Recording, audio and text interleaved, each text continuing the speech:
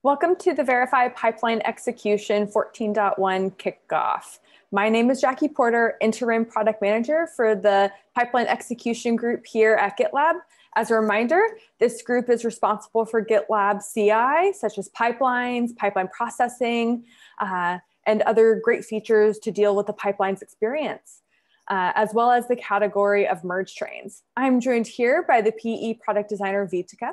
And in 14.1, we'll be delivering some incredible features that will help our users begin to see a return on investment uh, with GitLab, which is uh, seen in the foundation of CI minutes.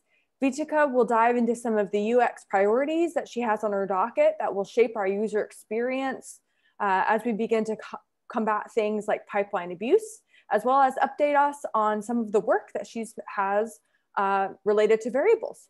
Vitika? Sure, thanks, Jackie. Um, so in the previous kickoff video, we touched upon how we were going to conduct a UX scorecard exercise um, on variables, and the jobs to be done that we had selected was controlling the scope for CI/CD variables. So I just wanted to um, let you all know that we are through with the exercise, and we spoke to about five users, and we have some really good findings at hand. And using those findings, we, we would now work on um, putting together a proposal for redesigning uh, the experience with variables. This is going to be a really cool scope. Uh, we actually are going to be transitioning over variables to pipeline authoring, which is uh, kind of sad, but also will be really great for our users given that pipeline authoring experience uh, is related to the variables controlling of pipeline permissions. Uh, so this will definitely not be a wasted effort uh, and that'll be a great uh, transition point for, for that team. Thank you so much for that overview. Um, as mentioned in the introduction, one of the uh, themes and overarching concepts is this uh, CI Minutes initiative that we'll be taking on. And uh, one of our investments is related to uh, a new monthly mechanism for CI minutes usage to ensure a consistent experience for tracking CI minute quotas for our users.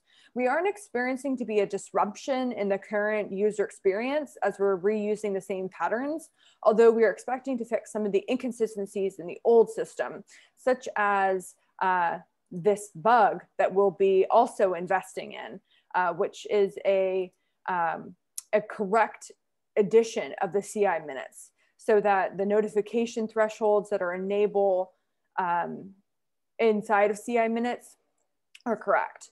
This focus on CI minutes will empower our users to effectively see how their consumption is progressing and manage their accounts correctly.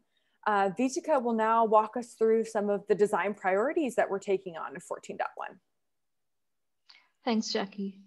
Um, yeah, this is the first issue that I would be talking about. And um, so recently there has been a requirement from our users that they want to identify the projects that have been consuming um, like the most CI minutes.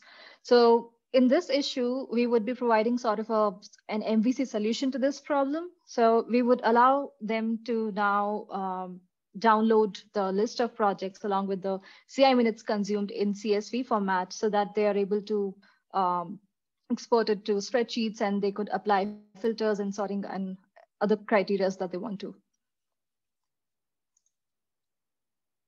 Yes, this one. So removing user access to shared runners. Um, there has been a request to add a capability to block access to shared runners, um, GitLab CI for a particular user without blocking their account level access. And that's what we'd be working on uh, on this issue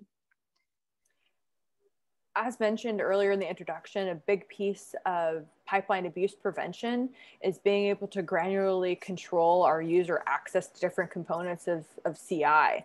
Uh, this is a great entry point for our users in preventing abuse, but also controlling legitimate user access. So I'm really excited to see how you design this experience, Vitika. Yeah. Now, moving to the last one which is, yeah. Uh, recently, we had provided this workflow for uh, validation of credit card when users would um, be using GitLab CI for the first time. Um, so now what one thing that we missed was the banner was not dismissible until now. So this is something that we would be um, like uh, through this issue we would uh, make sure that the banners are dismissible and users could just close it and continue with the uh, their workflow, which is not related to GitLab CI. Thank you so much for that overview, Vitika. I'm really excited for some of your design priorities in 14.1. I think you're working on some high priority initiatives related to pipeline abuse, and I'm excited to see about some of the uh, design proposal around variables. I think that that will be a really rich experience that pipeline authoring will get to work on. Uh, 14.1 is going to definitely be the best release ever for us.